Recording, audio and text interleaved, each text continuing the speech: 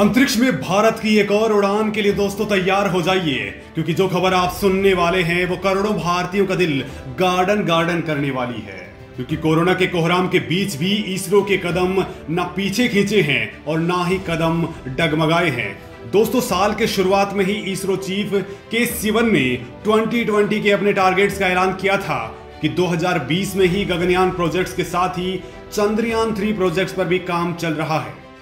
गगनयान अंतरिक्ष में इसरो का पहला मानव मिशन होगा। लेकिन बाद में कोरोना वायरस की वजह से देश में एक लंबा लॉकडाउन चला और माना जा रहा था कि इसरो के मिशन गगनयान में बहुत देर हो जाएगी। और हो सकता है कि मिशन को लंबे वक्त के लिए बढ़ा दिया जाए, क्योंकि लॉकडाउन की वजह से इसरो में रिसर्च का काम बंद था। वैज्ञानिक अलग अलग सेंटर्स पर कोरोना से निपटने के लिए वेंटिलेटर्स और सैनिटाइजर्स बना रहे थे। लेकिन अब एक बड़ी खबर सुनने को मिल रही है कि ऐसा कुछ नहीं होने वाला है, बल्कि इसरो अपने सभी मिशन निर्धारित समय में ही पूरा करने वाला है। इस बात का ऐलान परमाणु ऊर्जा एवं अंतरिक्ष राज्य मंत्री डॉक्टर जितेंद्र सिंह ने कर दिया है। उनकी माने तो भारत के पहले मानव अंतरिक्ष मिशन गगनयान की शुरुआत कोविड 19 महामारी से प्रभावित नहीं होने वाली और तैयारियाँ सही दिशा में आगे बढ़ रही हैं। केंद्रीय मंत्री के इस ऐलान के बाद एक बार फिर इसरो की उड़ान को पंख लग गए हैं और अब ये मिशन अपने निर्धारित समय पर अंतरिक्ष में मील का पत्थर छूने वाला है। समय पर पूरा होगा इसरो का मिशन गगनयान।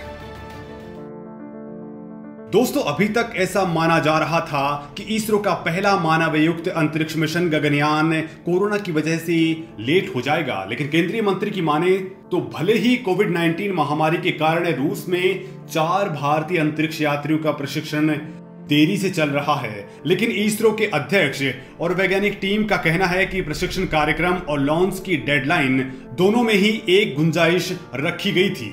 केंद्रीय मंत्री ने साफ़ किया कि अंतरिक्ष यात्रियों का प्रशिक्षण अब फिर से शुरू हो गया है और जैसे कि पहले ही योजना थी कि 2022 में भारत के स्वतंत्रता दिवस से पहले इस मिशन को लॉन्च कर दिया जाएगा। पहले ऐसा माना जा रहा था कि कोरोना की वजह से लगे लॉकडाउन से इस मिशन में देरी हो सकती है, लेकिन अब मंत्रालय ने पूरी तरह से साफ़ कर दिया कि मिशन अपने समय पर ही होगा।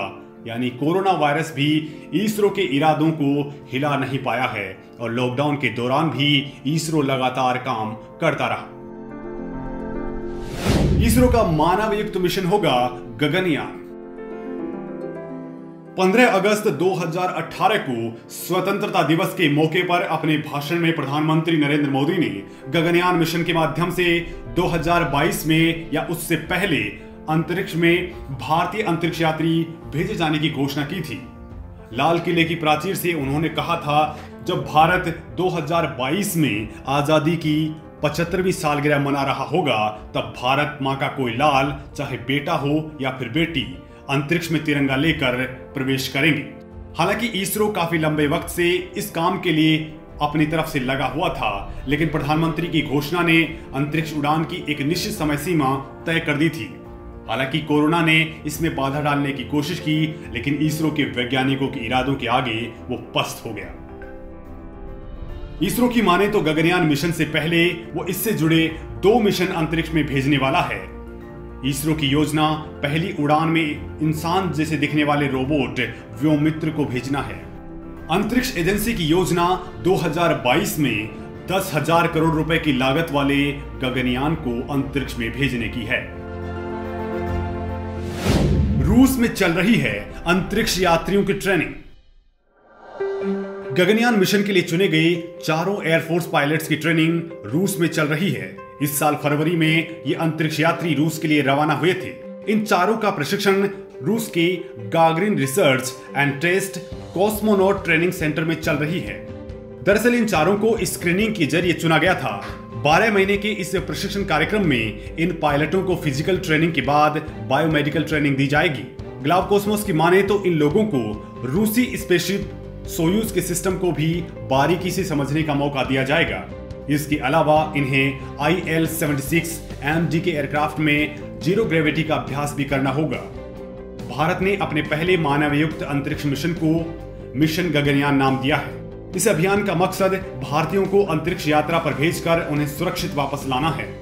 गगनयान के लिए इंडियन एयरफोर्स की 12 पायलटों को चुना गया था। बताया जाता है कि इन्हें करीब 60 उम्मीदवारों के बीच में से चुना गया था। मिशन चंद्रयान थ्री भी समय पर होगा लॉन्च मिशन गगनयान की तरह ही मिशन चंद्रयान भी समय पर लॉन्च होगा। इसकी जानकारी भी परमाणु ऊर्जा एवं अंतरिक्ष राज्य मंत्री डॉक्टर जितेंद्र सिंह ने दी है। उनका कहना है कि चंद्रयान थ्री लोनर मिशन की योजना के अनुसार अगले साल ही लॉन्च किया जाएगा। उन्होंने कहा कि इस मिशन में मूव करने के लिए मॉड्यूल को कैरी करने के लिए एक लैंडर रोवर और एक प्रपल्सन सिस्टम शामिल होगा। लेकिन इसमें ऑर्बिटर नहीं होगा, क्योंकि पिछला ऑर्बिटर पूरी तरह से अंतरिक्ष में काम कर रहा है। सरकार के इस ऐलान से साफ़ हो गया है कि इसरो के ये दो बड़े प्रोजेक्ट्स समय पर ही लॉन्च होंगे। देश के महत्वाकांक्षी चंद्रयान टू अभियान के तहत पिछले साल 7 सितंबर को इसरो विक्रम लैंडर की चंद्रमा पर सॉफ्ट लैंडिंग कराने में असफल रहा था, लेकिन इसके बाद भी इसरो ने हिम्मत नहीं हारी और अब वो 2020 तक अपने अगले मिशन चंद्रयान थ्री की लॉन्चिंग की तैयारी कर रहा है। और अब साफ़ हो गया है कि ये मिशन भी समय पर ही लॉन्च होगा। इस मिशन में इसरो का पूरा ज़ोर लैंडर की टांगों को मज़बूत करने पर है, ताकि हार्ड लैंडिंग की स्थिति में ये सही सलामत चंद्रमा की सतह पर उतर जाए। चंद्रयान थ्री में इसरो केवल लैंडर और रोवर को ही लेके जाएगा, क्योंकि चंद्रयान टू ऑर्बिटर पूरी तरह से काम कर रहा है और ये अगले साढ़े सात साल तक काम करता रहेगा।